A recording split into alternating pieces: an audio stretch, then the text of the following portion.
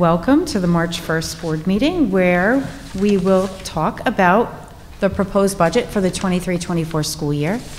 On January 24th, we presented a preview of the um, 23-24 budget. Today, we will be presenting my proposed budget for next school year. This is an overview, and I just want to emphasize that it is an overview because we plan to use the next two board meetings, March 14th and March 28th, to go over the budget in detail by school, by department, and by function. I always want to start everything by grounding our work and our mission. A budget reflects the values of the district and helps us achieve our mission. In this budget, you will see that uh, we have maintained the quality and quantity of our academic programs, and we also have maintained a focus on ensuring that the learning community is safe and supportive. And lastly, we really maintain the ability of our students to explore their individual passions all of which require resources in the form of our budget. In addition to being aligned with our mission, my proposed budget supports the six strategies in our strategic plan. We will continue to invest in professional learning and pursue staff that reflect the values of the district and are the very best. We will remain committed to ensuring we are differentiating, that we are meeting the needs of each student, and ensuring that they are future ready. We will also continue to invest in new personnel and services that provide emotional, social, and physical wellness for our students. In the world of communication, our resources will remain dedicated to home, school, and community communication pathways. We will make additional investments in next year's budget in ensuring our schools are safe environments for learning.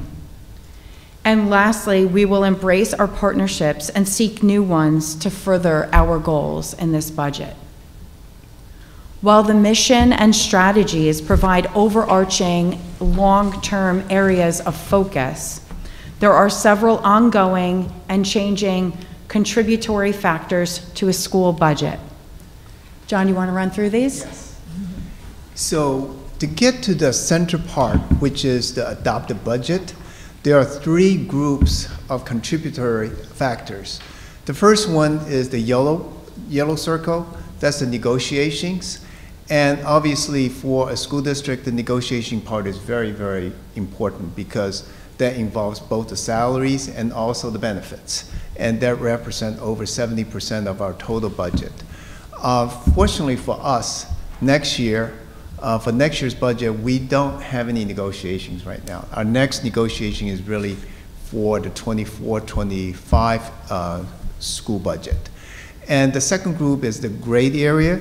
That is the input from external and internal groups. For example, you know, the the, um, uh, the, the Board of Education meetings, you know, if anyone talk about it. I, I remember not this year, but last year when we had the student uh, group, they, they actually had a pitch, they, they talk about the budget.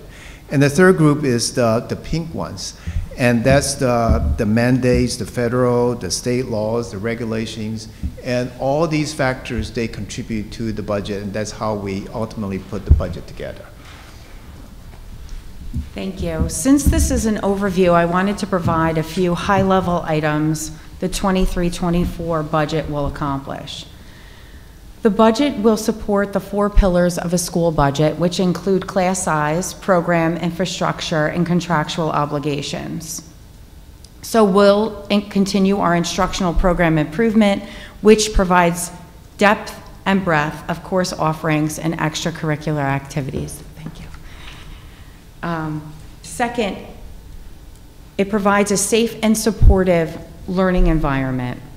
So you know that our district goal this year is on safety. We've done a lot of audits, we've done a lot of work, and we're going to continue to pursue some of these things that have come up that we want to make improvements on in and as part of next year's budget.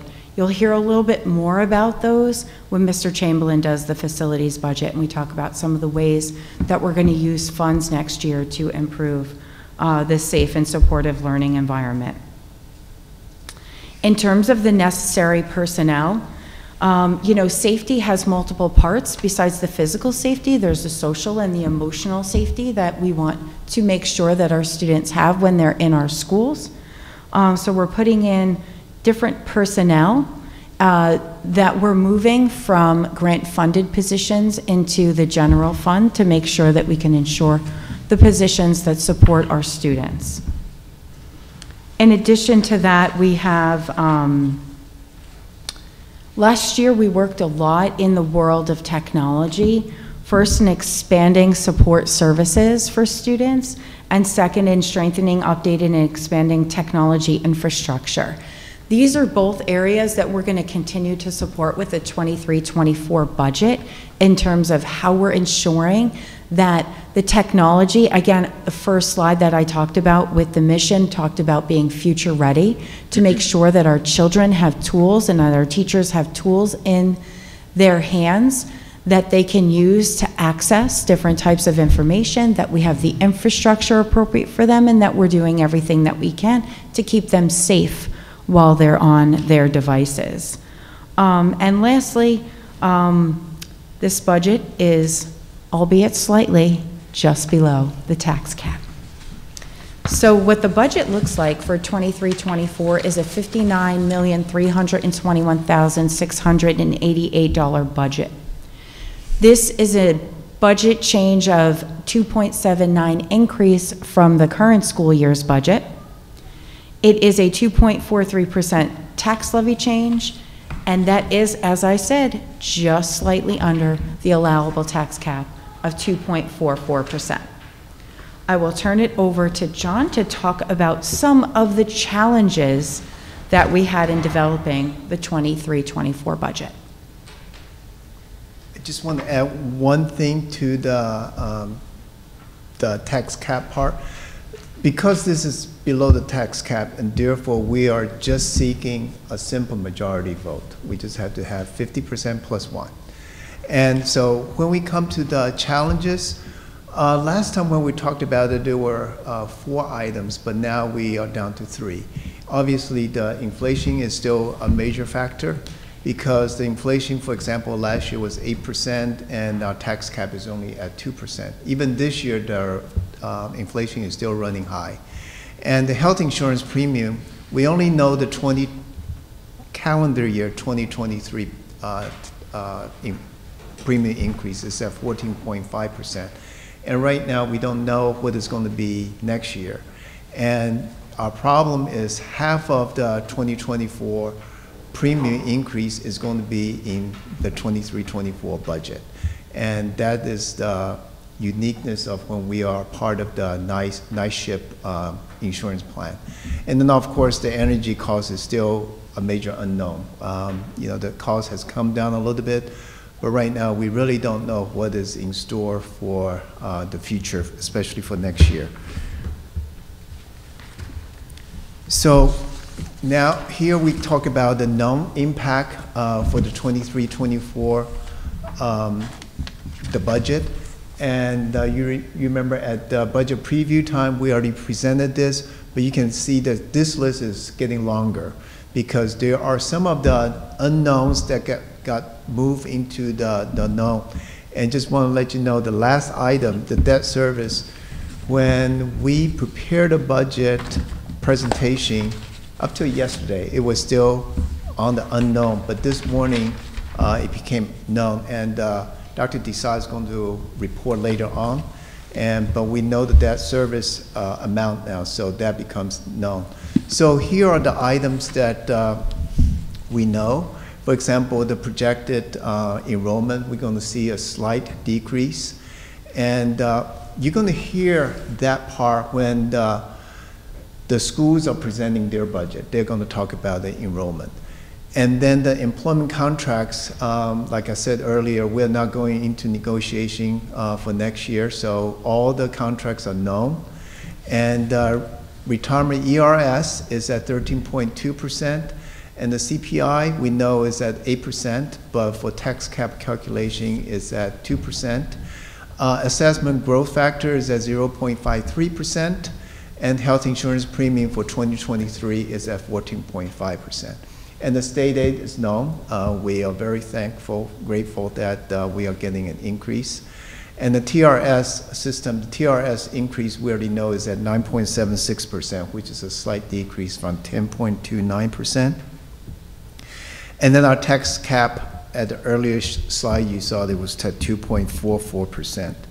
And the debt service, the last unknown piece that was, became known this morning was, this is the, the bond, that $2 million bond that we have to borrow for the middle school uh, HVAC project.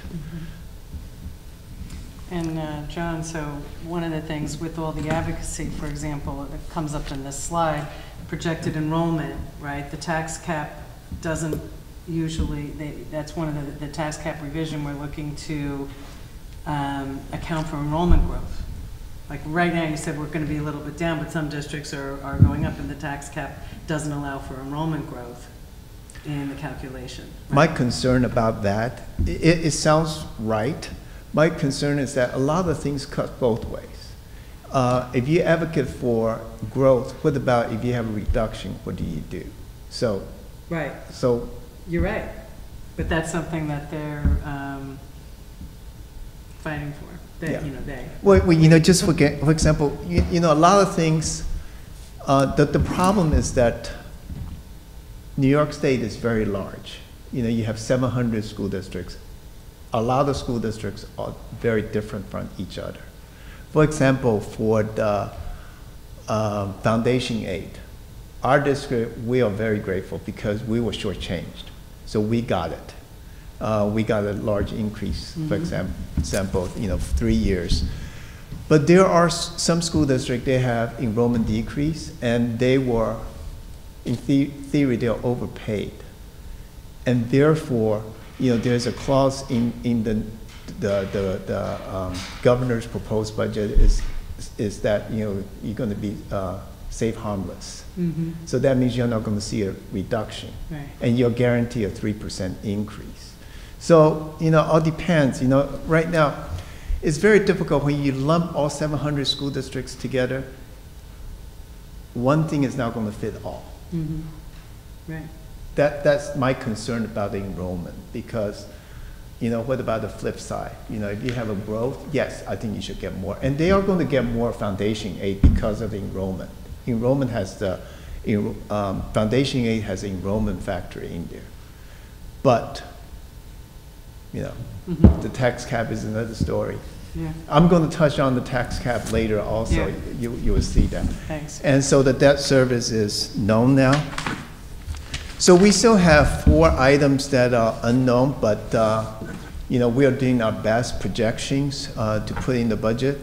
The first one is a special ed placement, both for the in-district as well as out-of-district. Right now, we are going through annual reviews, and so there are a lot of unknowns there. Uh, But, you know, um, you will hear from the uh, special ed director when she presents the budget that they are projecting out. And then we have tuition students, that part of it is still unknown. And uh, transportation cost, um, the transportation cost, there are several factors. One is obviously the out-of-district placements. And then also another piece is the CPI number. Our contract calls for CPI increase, but that CPI is different from the tax cap CPI. The tax, uh, this CPI for transportation is using the CPI from June first of twenty twenty-two to, um, May thirty-first, twenty twenty-three. So we don't know that number until June, around June 15. Then obviously the health insurance premium, we don't know what it's going to be for 2024. But we know it's going to be an increase for sure.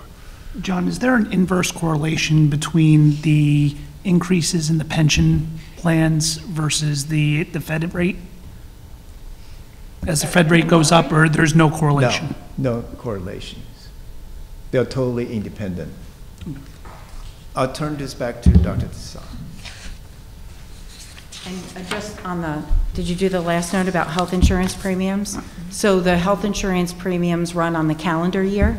So we know the 2023, but we don't know the 2024. And obviously, our school budget goes through um, January to the end of June of 2024.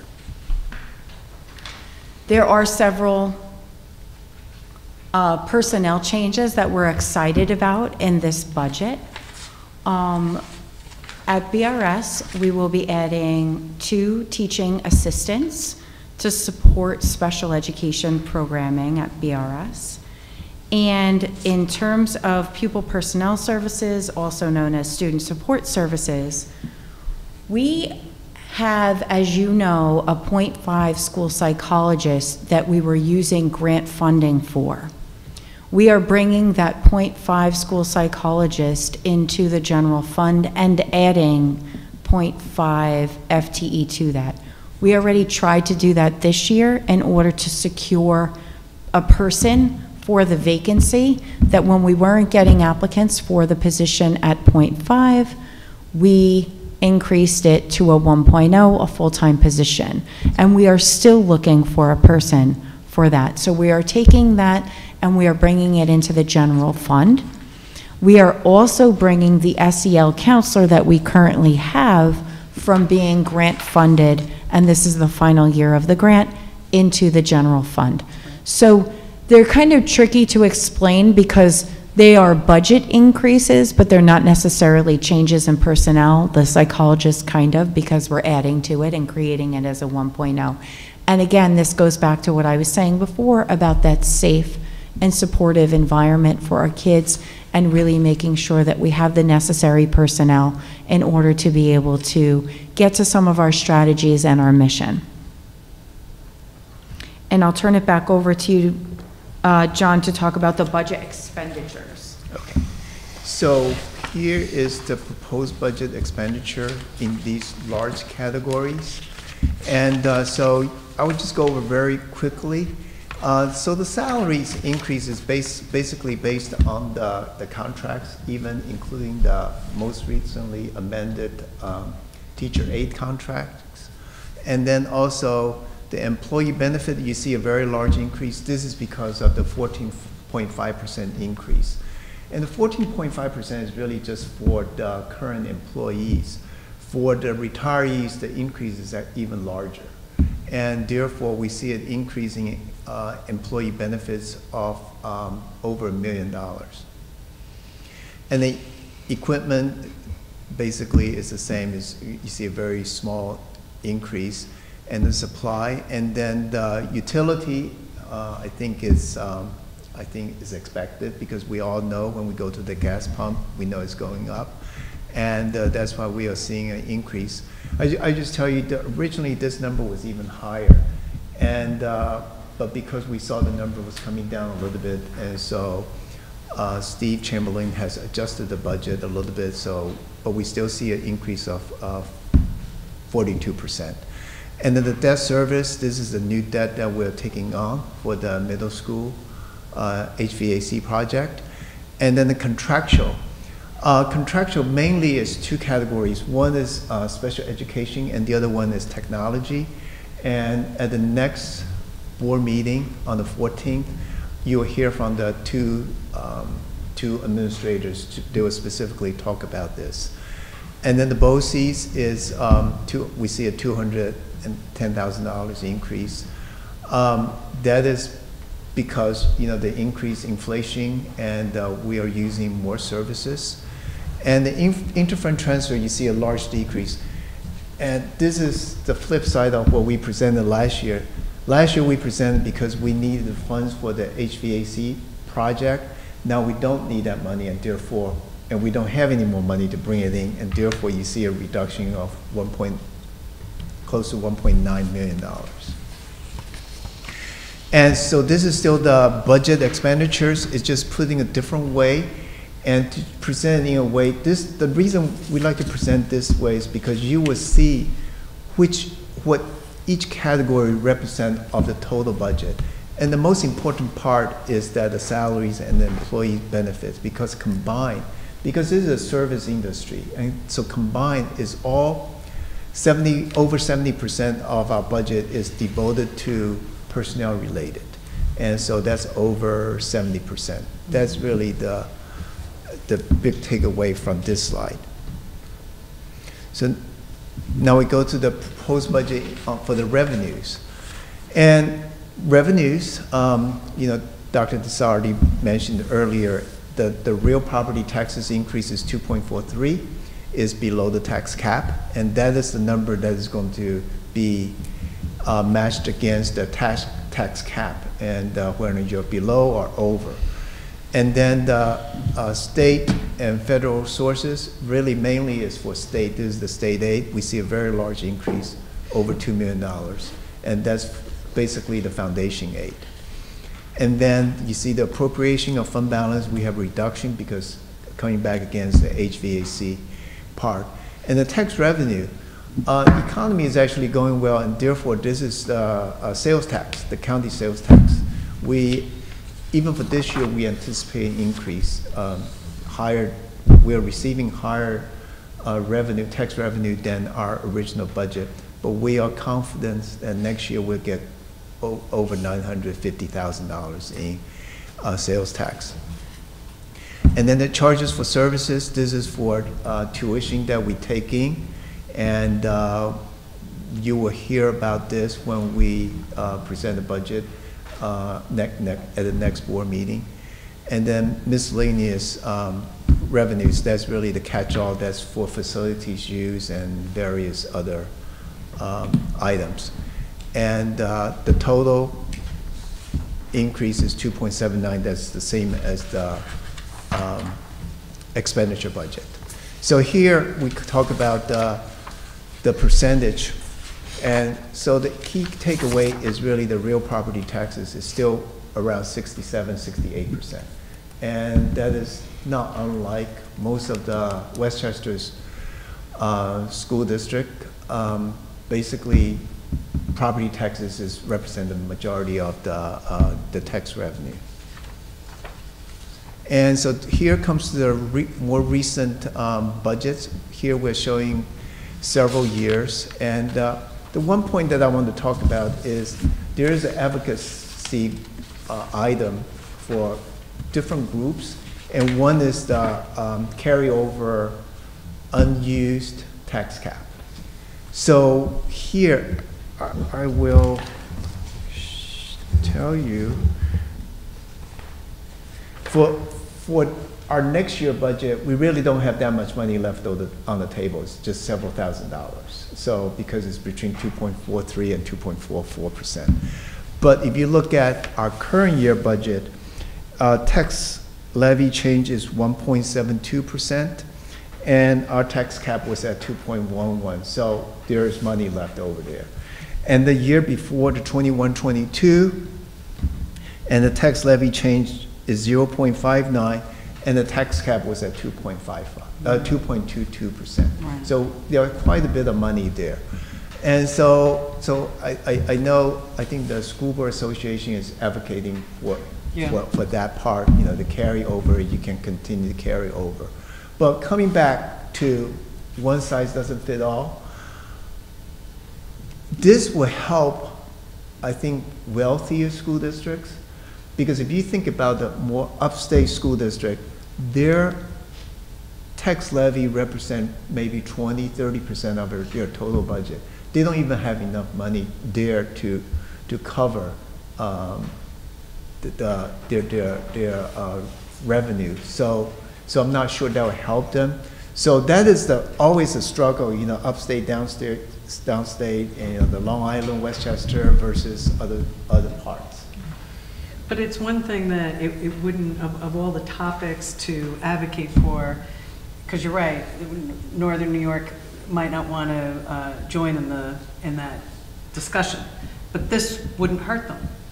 There would be nothing against them supporting having this uh, change to the uh, tax levy, to, to, even if it's one or, you know, a couple of years where that money could be used, uh, you know, saved for the following year. Wouldn't hurt uh, northern districts to support this change, even though their benefit is minimal. Because it's not going to hurt them. I think what they're going the- to advocate for is that they will want more, even more state aid in the future. Because right now, if everyone's made whole, Right. and uh, so I think with the current governor, he, she is basically not guaranteeing, but I, I'm hearing the word guaranteeing that every year there will be inflation Right. uh, number fixing. So this is the calculation of our tax cap. Um, It, it shows you that the tax cap is at two, the total increase is two point four three seven percent. And uh, our proposed tax levy is just below that. So we are under the tax cap. So I turn this over to Dr. Thank you. So as we have said a couple of times this evening, our next two presentation, our next two board meetings in March will be um, filled with lots of budget presentations. On the 14th, we'll have the three schools, as well as special education and technology do presentations. And the following March meeting on the 28th, we'll have athletics, um, O and M, non-instructional revenue tax cap, and the contingency budget presentations. Then we'll move into April, we'll have the adoption of the budget. We'll move into May, where we'll have the, bud- we'll, we'll have, where we will have the hearing, and then um, end up with a um, budget vote. So all of this will happen in the next three months, and we just want to encourage everyone um, out in the community that we know March, April, and May will go by very quickly. So if you have any comments, we absolutely welcome them. We have information for our district clerk, Donna Vitucci, myself as your superintendent, and Mr. Chow, our assistant superintendent for business. Thank you. Thank you. Thank you so much.